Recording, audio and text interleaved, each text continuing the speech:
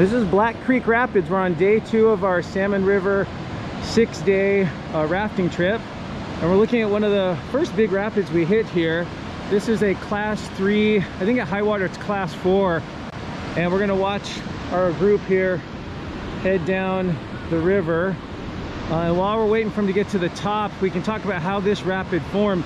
There's a side channel, a creek that comes in here on the right. And in 2011, it had a debris flow, basically a flash flood that sent all these rocks into the channel and actually created this rapid. So we'll kind of watch the entry here of our group. You can kind of see the nice V wave here on the left, some rocks to avoid on the right. And then we'll probably run a video when our little green boat here runs it here in a second. So pretty clean line if you're in the right spot, but like a lot of rapids, if you're in the wrong spot, um, you can see the huge, there's a huge hole river right that would probably flip a boat. So there goes our group. We got our little yellow boat coming here in a second. So blue boat looking pretty good. Kind of bumpy through there.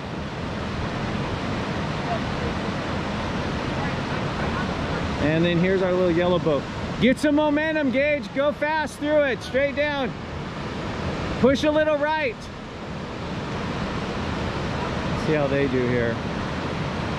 The little yellow boat with the four teenage boys. Looking good. Hit that wave straight on. Nice. A little bouncy. And looks like they made it. Sweet. So yeah, just this is one way that rapids form.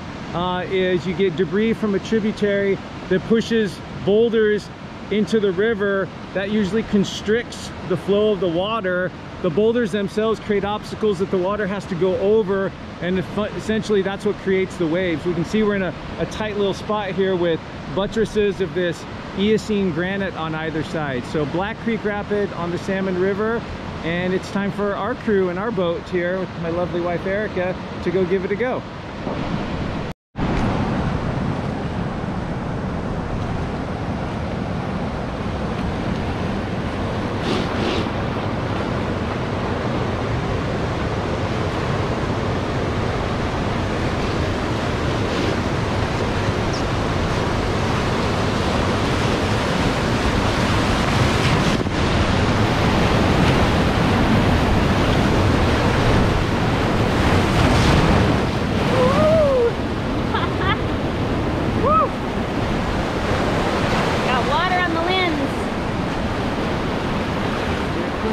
Black